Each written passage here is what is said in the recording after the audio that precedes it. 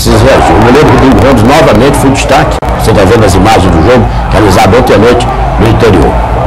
Os dirigentes nacional, inclusive, reclamaram muito da arbitragem. O Nacional pressionou bastante e o time boliviano garantiu o empate. Domingo, próximo jogo de Sampaio contra o Itinga, lá no interior.